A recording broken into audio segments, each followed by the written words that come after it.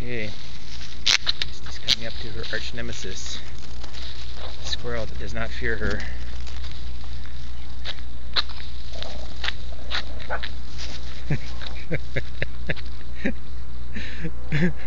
you missed again.